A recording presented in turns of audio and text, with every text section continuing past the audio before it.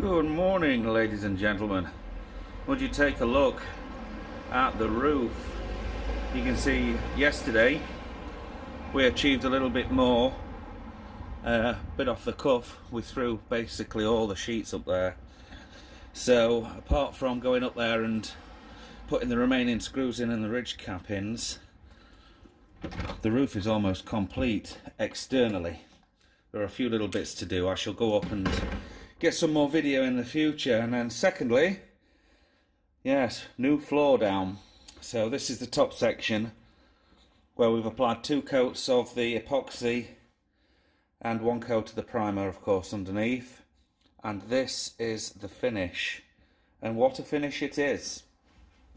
And if we just have a look down here, you can kind of see that's the epoxy primer, which I think is really quite a good product. It's thick and solid as it is. And then here we've got one coat of the uh, resin top coat. And then over here you can see where the second coat comes in and it gives it quite what I'd imagine or hope to be quite a durable finish.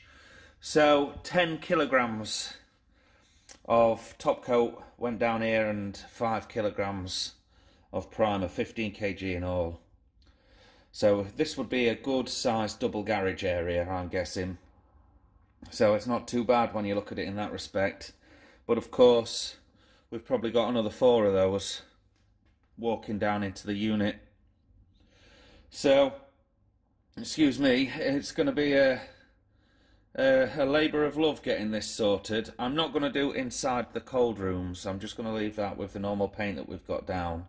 So I'll be marking out with tape where these new cold rooms are going to come up to and then we'll push things that like the fermenters over to this side when we do actually go and put the new floor down over here.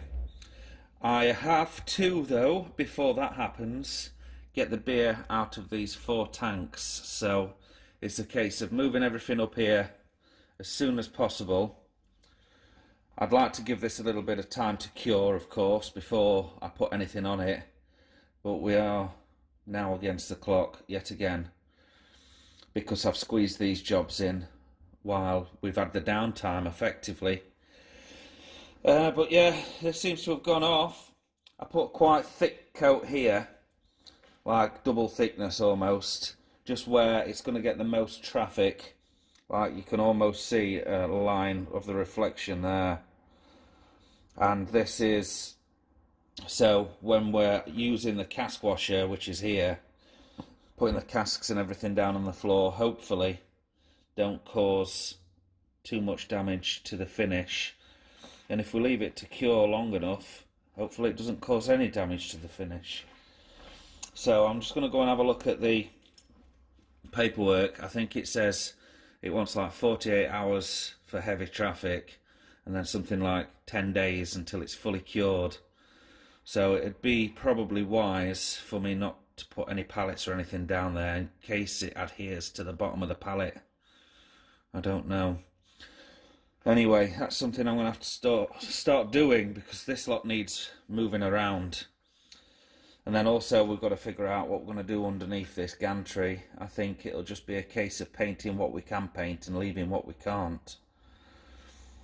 Which uh, is not ideal, but it is what it is. They're the final roof sheets to go on. Oh yeah, let's have a look at the inside. So you can see I ended up not replacing the lights where they were missing from because it was too much of a tricky task to remove the old uh, or the new boards. Apart from over here where I replaced that one because it needed replacing.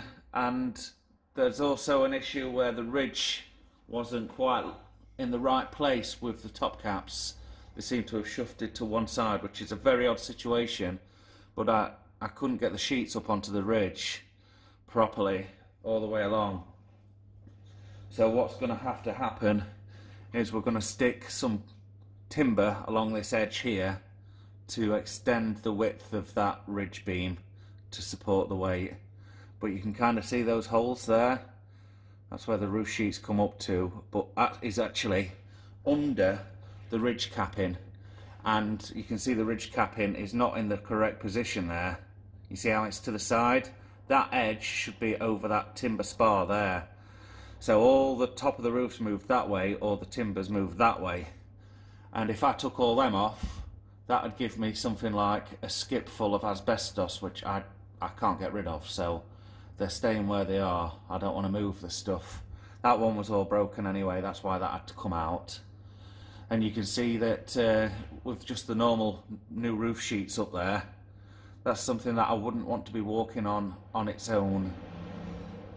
But when they've got the uh, asbestos sheeting underneath and the new roof sheets, it can kind of take your weight for you to scuttle across briefly without having to put any uh, more access equipment up there but I certainly won't want any idiots going up there. You need to kind of have a little idea what you're doing. Not that I do. and yeah, just need to get those ridges on really and tidy up the ends, cut the cut the triangle sections out. So I'll just show you exactly what I mean. These triangular sections here need cutting off at the ridge, at the edge of the roof and then turning round and used to infill the little sections of triangles that would be missing on the roof as you can see it goes all the way down that edge there with the biggest one being at the bottom. So hopefully hopefully we will have enough offcuts to complete the job. Uh, we didn't have enough screws so I've had to nip into tool station this morning and just get some of these for stitching the ridge cap into the roof sheets because there would not be any other way of doing it the ridge capping would have nothing to screw into. So I've had to fix the roof sheets to the ridge and then the, the ridge to the roof sheets if you get my drift. But that's where we are this morning with the renos or the renovations. So I need to do a little bit of uh, real life Tetris and move all this lot so we can gain access to the beer tanks and hopefully get uh, get the canning machine out. Oh, it's a big tidying job, but yeah, that needs to come out. The seamer needs to come out. They need to both be sanitised and then get ready to process the beer that's in these tanks which all seem to be sat nicely at around 4 degrees C if you can make that out. Right, let's get cracking with the Knocking Lake pit. So that is epoxy repair mortar close up. It's just been laid on the major cracks that we've got in the floor area and as you can see I've also blasted, excuse the camera wobble a second, I've also blasted this area with the grinder and taken up the old paint. So repair there, repair there, and a repair there. There's another one to do up there, but I don't think I'm going to paint that in the same at the same time. We'll see, we'll see. Maybe I will. And then there's also one over there, but that doesn't get as heavy traffic. And at this section here, I'm going to transition from the blue back to the red again, for red being workshop area, blue being brewery.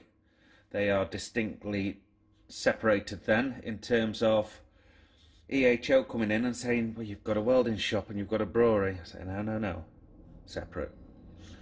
There we go. That's the idea any road up like pet. So I've spent all day at this doing this repair work took quite a long time. I had to chip it all out with the uh, SDS and then mixing this stuff up. You only want to mix like a kilo or two of it at a time just in case it goes off in your pot. So I was being quite cautious with that. Need to move this stuff tomorrow, maybe the day after back up to the new painted area, back up to the cask wash area. But, look at the footprints already. it's because this, uh, this is all dusty, you see. Oh, I painted the top of that as well. It had a bit of rust on it. So uh, yeah, it's curing nicely, but I can I can still feel that my fingernails would make a mark in there. So it's not quite there yet. And if that feels soft enough on the fingernails, then certainly the pallet truck is going to make a mark on there without a doubt. So I'm definitely not going to be pulling any pallets up here just yet. And uh, I suppose once we've done this, yeah, I could extend that bitumen line across, cut in nicely, sort the paintwork out on here, maybe even do some uh, more murals on the wall. Oh, who knows? Who knows? Getting ahead of myself yet, and I haven't got the time. And then I've stopped here, just coming back to the filler because cold rooms are going to be up here and the inside of the cold rooms aren't getting the resin either it's far too expensive. And we can just it doesn't get the foot, foot traffic so we can just put the uh, the paint down I think. That's what we'll do anyway. But it's enclosed you see so it's not like anybody's going to see it. And the biggest part of this floor renovation is definitely going to be. I've painted this again. uh, definitely going to be moving the kit out again. Oh bollocks! I've just thought my HLT's full of water. I might set that to drain tonight. Then We're we going to pull that out tomorrow? Probably not. I'll drain it tomorrow night, I think. And then yeah, that's got to be pulled out and put over this side once this paint's been cured. So I think what I'm going to do is this section here first after we've moved this stuff and then like the, the pilot kit and stuff can go over here or up the top. And then we'll do this section here primer one coat two coat done. And then all the fermenters and everything will have to come across this side. We'll have to quickly prep that side resin, primer, top coat, second top coat done. Hopefully that will be enough and we'll be looking at the beginning of April which we're very close to now. We're on the 22nd today I think. The beginning of April being completely floor finished and ready to start brewing again. We'll, we're going to have to pick up the brewing in April without a doubt. I'm pushing my luck a little bit doing all these things, but I ain't going to have another chance this year if we don't have another lockdown to pull all this stuff out again and do it. So it has to be done now. So it's, yeah, got to get a rush on, got to get it done. It is what it is. I might even have to get another grinder on the go. Oh, I burnt one of my grinders out as well. Yeah, my Einhell one, which was my favourite to use uh, well, it's, it's, not burnt out. The um, the arbor is wobbling slightly, so it kept knocking itself off because it was vibrating that much, knocking the switch off, which is a bit of a shit, really. Um, and they've only got one more of those in tool station and that was the only one that fits with the little jig that I made. Uh, but at least I got a bit of work out of it, saved my back. And this stuff, actually, it comes up really easy, the paint here which is testament to how much I've been struggling with it in the past. Never been happy with it, it just comes up too easily because the surface hasn't been prepped when I've put the new paint down. So, fingers crossed, this and uh, this stuff and this stuff is gonna do the job. There we go. Anyway, I'm signing out, boys and girls, and yeah, well, we'll see you on the next vlog because it's uh, nearly half past six and I want to go home. Cheers. We'll see you on the next one.